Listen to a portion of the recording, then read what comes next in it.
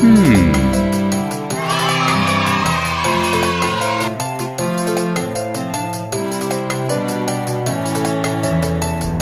Let's do this.